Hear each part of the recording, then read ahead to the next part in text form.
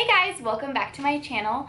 Um, this is my final update on my Bell's palsy. So as you can probably tell, I am mostly recovered.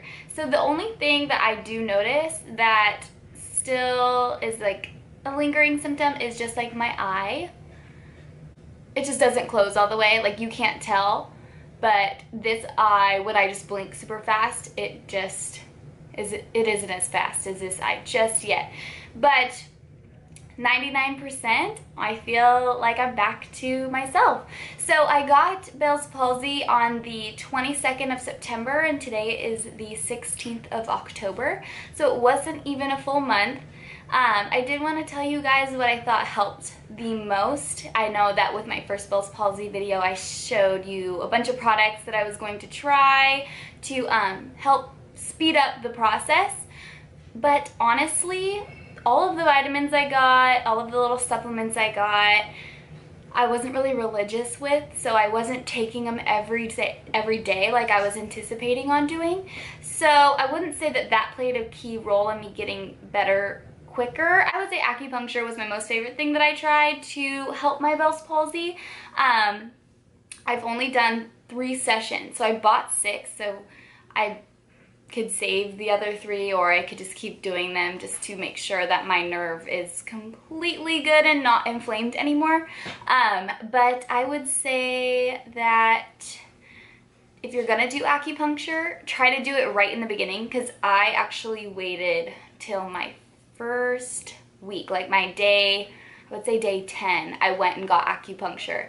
So I would recommend maybe going in a little bit sooner because I did start to see a lot of twitching after my acupuncture and I feel like that was kind of like a sign of it getting better because it was like trying to move. Um, but I do think the acupuncture was the best thing that I decided to do and I hope that you guys aren't too nervous to try it because I'm super scared of needles but I pushed through. It was totally fine. It didn't hurt at all. It was just a little pinch. Um, but I wanted to show you guys my recovery and to anyone going through it, I know you want to think that it's not going to get better. That's like the main thing that I would think every single day for like the first week to two weeks, but I can tell you right now, you're going to get better. It's just a matter of time and I wish I could go back in time and tell myself to not be depressed because it's a lesson and it's a lesson to be patient and it, it makes you appreciate yourself more I think because once you're better you're so happy to be back to your own self. So I did want to give you guys an update and yeah so I hope that this video finds you well and if you do have Bell's palsy you can watch my first few videos but I will tell you I didn't really follow up I didn't really um, stick with any of the supplements or anything I would say the most thing that I did religiously was the acupuncture. Um, but yeah, definitely catch do the acupuncture in the beginning and then do it twice a week is what he recommended.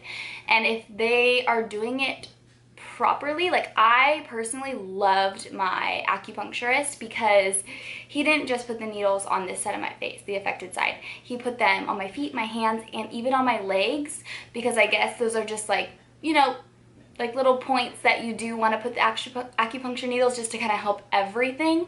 So I would recommend um, researching online, making sure that you're going to a place that really does know what they're doing and that is has experience with Bell's palsy patients. And I really hope that you guys recover fast. So thank you for watching and stick around for my makeup tutorials coming soon.